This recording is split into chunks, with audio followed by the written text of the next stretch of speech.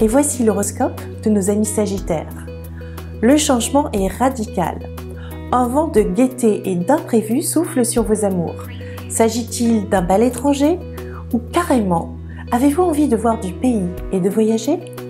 L'heure est à la liberté, mais vous n'êtes pas un paradoxe près.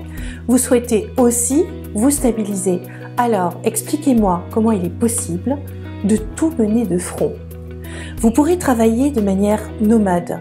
L'argent ne vous manquera pas, même s'il provient d'une source différente.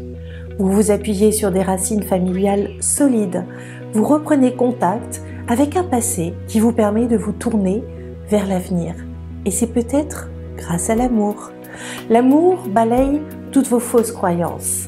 Il parle de tolérance, de compréhension. Vous transgressez les règles pour en établir de nouvelles. Vous avez une âme de baroudeur, voire même de grand reporter. Tout ce qui est nouvelle technologie attise votre curiosité.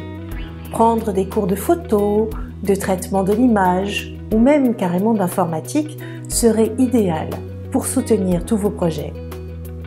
Vous avez décidé de reprendre votre destin en main et de le retirer de tout pouvoir qui pourrait vous brimer. Cette période vous sourit et tend les bras à vos initiatives. Osez réaliser vos rêves. Vous avez toutes les chances astrales de votre côté.